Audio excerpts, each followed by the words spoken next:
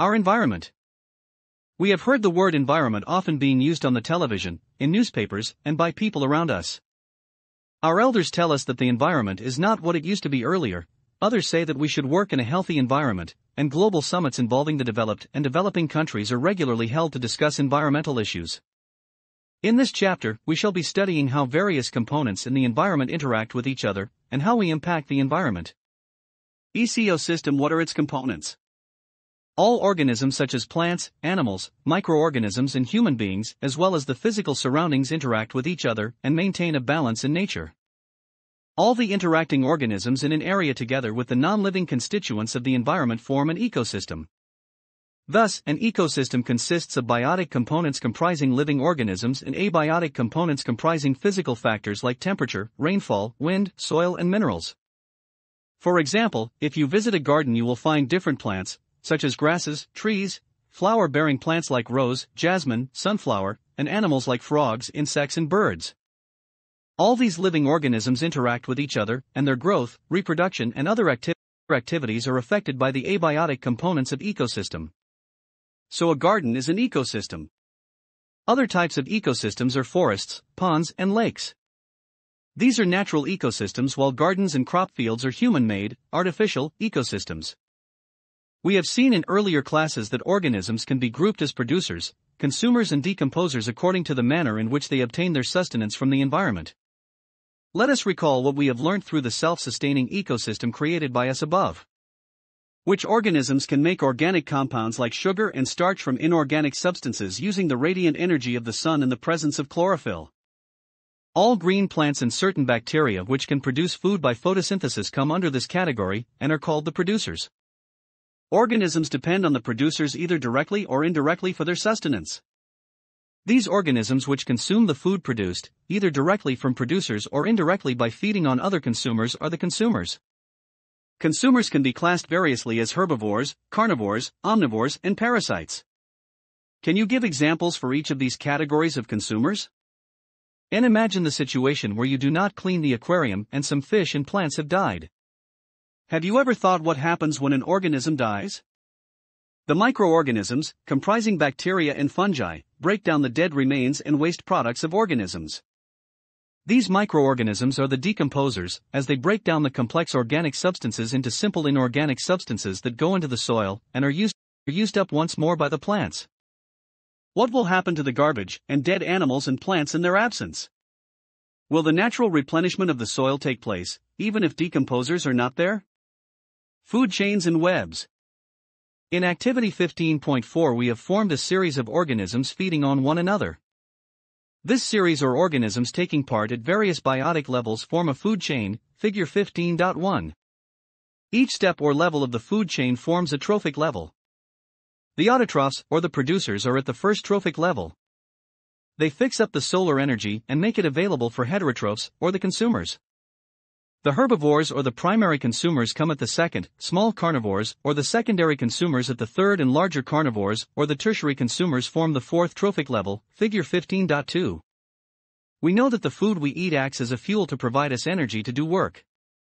Thus the interactions among various components of the environment involves flow of energy from one component of the system to another. As we have studied, the autotrophs capture the energy present in sunlight and convert it into chemical energy. This energy supports all the activities of the living world. From autotrophs, the energy goes to the heterotrophs and decomposers. However, as we saw in the previous chapter on sources of energy, when one form of energy is changed to another, some energy is lost to the environment in forms which cannot be used again. The flow of energy between various components of the environment has been extensively studied, and it has been found that, and the green plants in a terrestrial ecosystem capture about 1% of the energy of sunlight that falls on their leaves and convert it into food energy. And when green plants are eaten by primary consumers, a great deal of energy is lost as heat to the environment, some amount goes into digestion, and in doing work, and the rest goes towards growth and reproduction. An average of 10% of the food eaten is turned into its own body, and made available for the next level of consumers. And therefore, 10% can be taken as the average value for the amount of organic matter that is present at each step and reaches the next level of consumers. And since so little energy is available for the next level of consumers, food chains generally consist of only three or four steps. The loss of energy at each step is so great that very little usable energy remains after four trophic levels. And there are generally a greater number of individuals at the lower trophic levels of an ecosystem, the greatest number is of the producers. And the length and complexity of food chains vary greatly. Each organism is generally eaten by, by two or more other kinds of organisms, which in turn are eaten by several other organisms. So instead of a straight line food chain, the relationship can be shown as a series of branching lines called a food web. From the energy flow diagram, two things become clear. Firstly, the flow of energy is unidirectional. The energy that is captured by the autotrophs does not revert back to the solar input, and the energy which passes to the herbivores does not come back to autotrophs. As it moves progressively through the various trophic levels, it is no longer available to the previous level. Secondly, the energy available at each trophic level gets diminished progressively due to loss of energy at each level. Another interesting aspect of food chain is how unknowingly some harmful chemicals enter our bodies through the food chain. You have read in class 9 how water gets polluted. One of the reasons is the use of several pesticides and other chemicals to protect our crops from diseases and pests. These chemicals are either washed down into the soil or into the water bodies. From the soil, these are absorbed by the plants along with water and minerals, and from the water bodies, these are taken up by aquatic plants and animals. This is one of the ways in which they enter the food chain. As these chemicals are not degradable, these get accumulated progressively at each trophic level. As human beings occupy the top level in any food chain, the maximum concentration of these chemicals get accumulated in our bodies. This phenomenon is known as biological magnification. This is the reason why our food grains such as wheat and rice, vegetables and fruits, and even meat, contain varying amounts of pesticide residues. They cannot always be removed by washing or other means. How do our activities affect the environment? We are an integral part of the environment.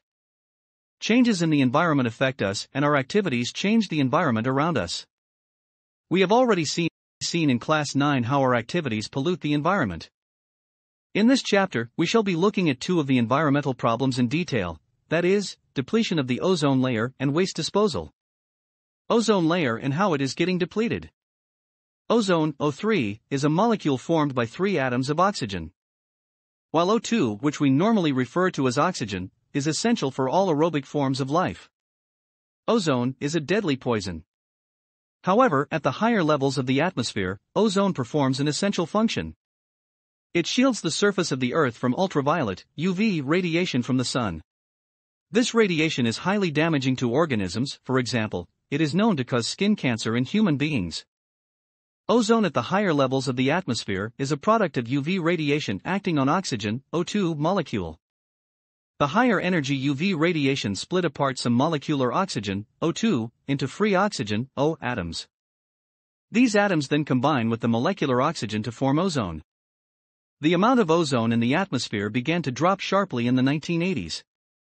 This decrease has been linked to synthetic chemicals like chlorofluorocarbons, CFCs, which are used as refrigerants and in fire extinguishers.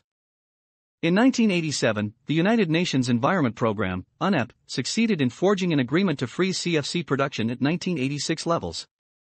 It is now mandatory for all the manufacturing companies to make CFC free refrigerators throughout the world. Managing the garbage we produce. In our, in our daily activities, we generate a lot of material that are thrown away. What are some of these waste materials? What happens after we throw them away? Let us perform an activity to find answers to these questions.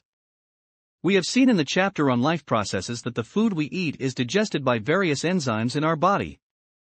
Have you ever wondered why the same enzyme does not break down everything we eat? Enzymes are specific in their action, specific enzymes are needed for the breakdown of a particular substance.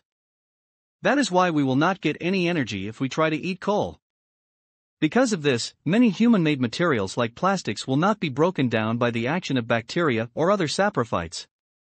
These materials will be acted upon by physical processes like heat and pressure, but under the ambient conditions found in our environment, these persist for a long time. Substances that are broken down by biological processes are said to be biodegradable. How many of the substances you buried were biodegradable? Substances that are not broken down in this manner are said to be non biodegradable. These substances may be inert and simply persist in the environment for a long time, or may harm the various members of the ecosystem. Visit any town or city, and we are sure to find heaps of garbage all over the place. Visit any place of tourist interest, and we are sure to find the place littered with empty food wrappers. In the earlier classes, we have talked about this problem of dealing with the garbage that we generate. Let us now look at the problem a bit more deeply. Improvements in our lifestyle have resulted in greater amounts of waste material material generation. Changes in attitude also have a role to play, with more and more things we use becoming disposable. Changes in packaging have resulted in much of our waste becoming non biodegradable. What do you think will be the impact of these on our environment? Disposable cups in trains. If you ask your parents, they will probably remember a time when tea in trains was served in plastic glasses which had to be returned to the vendor. The introduction of disposable cups was hailed as a step forward for reasons of hygiene. No one at that time perhaps thought about the impact caused by the disposal of millions of these cups on a daily basis. Some time back, kulhads, that is, disposable cups made of clay, were suggested as an alternative. But a little thought showed that making these kulhads on a large scale would result in the loss of the fertile topsoil. Now disposable paper cups are being used. What do you think are the advantages of disposable paper cups over disposable plastic cups?